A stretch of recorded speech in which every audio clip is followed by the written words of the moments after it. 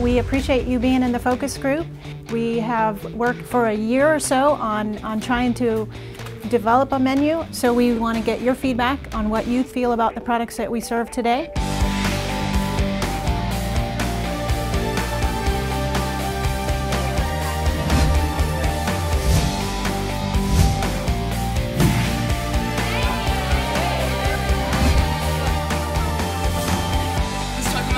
So